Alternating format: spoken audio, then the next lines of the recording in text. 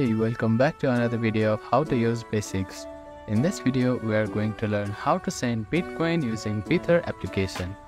First of all, find and open Bither application on your device and type in your PIN number to access to your account.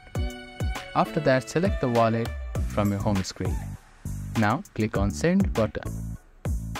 Here, in the to pay option, you'll need to type in the recipient address and type in the amount of Bitcoin you want to send.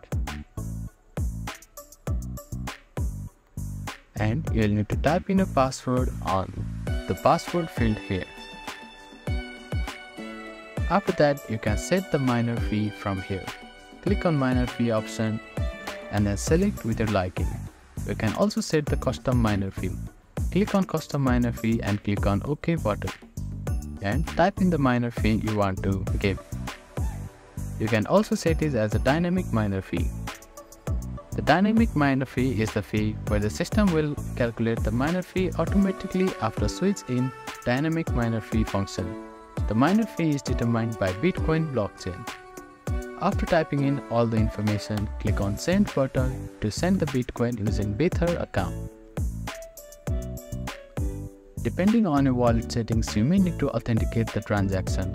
This could involve entering a password or using biometric authentication. After the authentication is confirmed, you'll receive a notification once the transaction is sent. And that is how you can send Bitcoin using Bither crypto wallet. Thank you for watching this video. Please do not forget to like, share and subscribe to our channel and comment down if you have any queries.